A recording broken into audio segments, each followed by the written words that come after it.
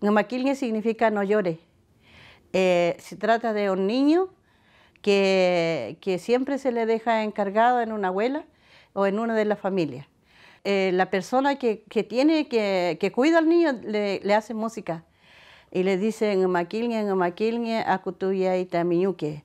No llore, no llore, va a llegar tu mamá. El momento en que llegue tu mamá te va a venir a hacer un pavo de harina. Eh, después dice, duerma, duerma, ahora, ahora, porque ya tu madre viene. En el conocimiento mapuche hay música para callar los niños, para tranquilizarlos, a través de la música.